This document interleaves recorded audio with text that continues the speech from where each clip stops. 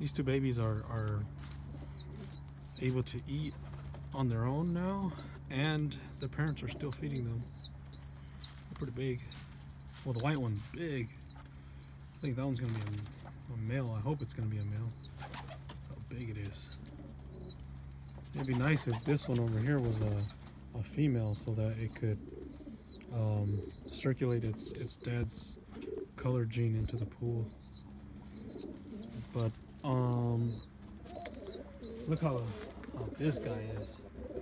That's one of the wild ones from um, from my parents' house, and he he came just at the right time. I mean, he's I can understand how he fell in the hole and got trapped because of the fact that he must have been the other dominant male, and they must have been fighting, and so that happened to knock their alpha male in and him.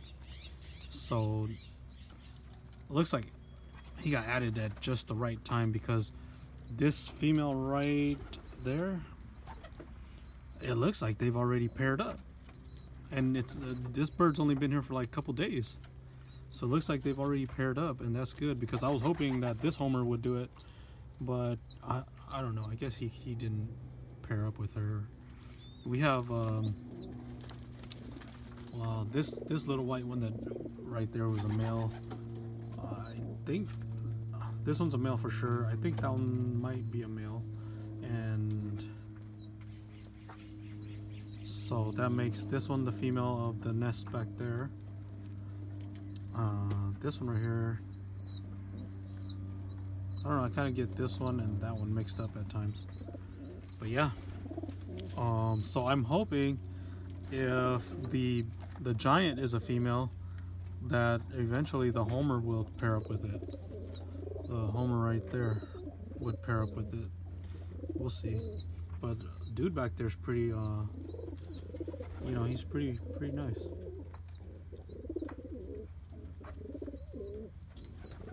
But uh, these two guys, they've been going at it back and forth quite a bit. They, they've been throwing down with each other quite a bit. They don't like each other at all. which is kind of weird because there's all these other males and they don't bother the other males mostly. They just bother each other. That guy back there on the nest he he's dominant on his own. He's got his own turf. He ain't scared of them. But uh, they don't really bother him. They bother each other. They'll go uh, see how everybody's just doing their own thing and they'll, they'll just go after each other. It's like they were just born to be enemies or something See, they barely even bother the other birds, but they instinctively hate each other. I haven't even seen the brown babies. I think one of them, uh, one of them looked like they were in pretty bad shape, but I guess they're okay. Yeah, both of them seem to be okay right now. I can't wait to see the the babies from this one and from that one because they'll be half Homer, half Scrubs. All right, let's see. Let's let's see what uh, what nature's gonna produce.